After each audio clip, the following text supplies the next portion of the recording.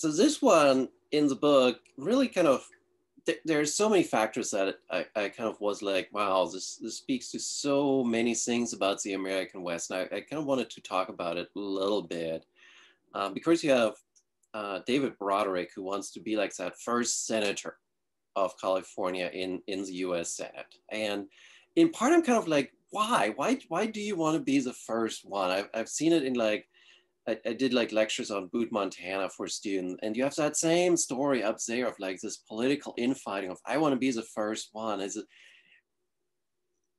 is it why why why do you want to be the first one? You want to be in the history books that desperately? I, I guess so. To a certain extent, maybe it's just bragging rights. I mean, these guys who, who went to California, these these politicos, um, were pretty savvy. They knew that. Um, digging around in the dirt to find gold wasn't actually a great way to make a living. And instead, going west to participate in politics might have been a, a more secure form of employment.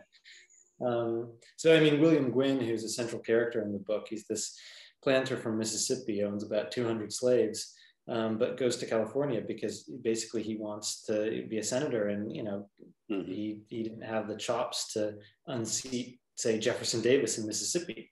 Yeah. Um, but there were going to be two open Senate seats in California, so he went for it, and and he got what he came for.